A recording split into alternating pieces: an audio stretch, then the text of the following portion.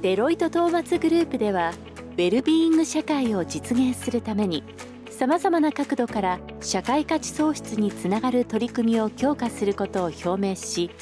その一環として2021年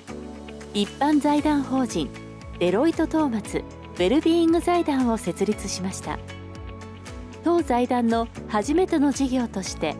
複数の団体が共同し人のウェルビーイングの向上につながる教育スキル開発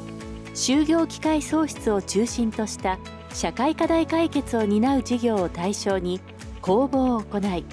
45件の応募の中から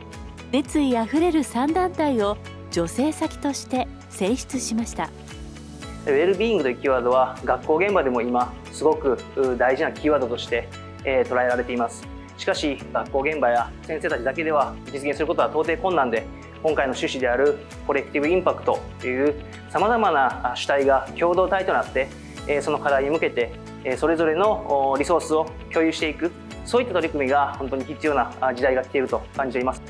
社会としてのあるべき姿ではなくて子どもたち一人一人がこれから先どうやって生きていきたいのか共に問い共に学び合うようなそういう学校の在り方そういう学びの在り方ってことを作っていけないだろうか。そういうことを考えていくのがこのプロジェクトになります。LGBTQ ももちろんなんですがさまざまな違いが生かされ一人一人が自分らしく働けるそんな職場を目指してこのプロジェクト取り組んでいきたいと思います。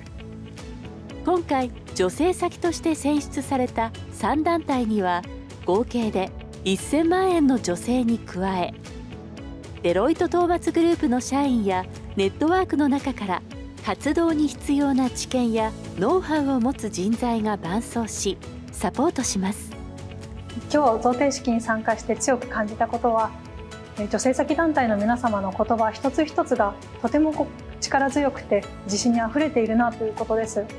共同体のお話を聞いて人々のこう個だったりとか多様性をこう引き出してあげる認めてあげるっていうところが共通なテーマになっていたのかなというふうに感じていて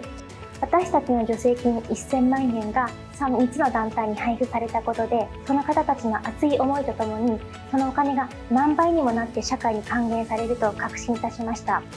僕らの女性だけではなくてビジネスと一緒に絡めながらですね日本を本気で変えていきたいなと思った瞬間でもありましたこれをですね我々が伴走していくことによって大きなうねりにしていってそしてコレクティブインパクトを与えて社会を変革していく。そんな取り組みのですね今日第一歩にしたいというふうに思っています。この活動がより、えー、広がりを持ったものになることを本当に楽しみにしています。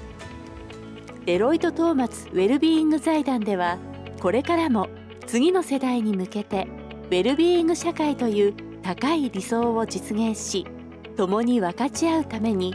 寄付女性事業社会課題解決事業を行っていきます。